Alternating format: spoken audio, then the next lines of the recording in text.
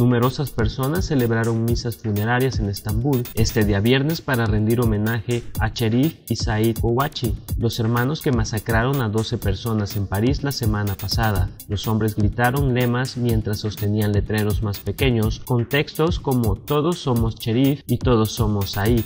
El Papa Francisco pidió este día a los filipinos que rechacen la corrupción que ha asolado a la nación asiática durante décadas y en su lugar les instó a trabajar para poner fin a la pobreza escandalosa y las injusticias sociales que afligen a su pueblo. El Programa Mundial de Alimentos de la ONU dice que más de 100.000 personas han sido desplazadas por las inundaciones en Malawi. El vicepresidente malawi, Saulos Chilima, dijo que 48 personas han fallecido en las inundaciones. Por otra parte, en el vecino país de Mozambique, 38 personas han perdido la vida en fuertes inundaciones. El Programa Mundial de Alimentos de la ONU informó que planea enviar por avión más de 100 toneladas métricas de alimentos a Malawi y la Fuerza de Defensa Nacional de Sudáfrica dijo que enviará soldados y equipo para asistir a Mozambique.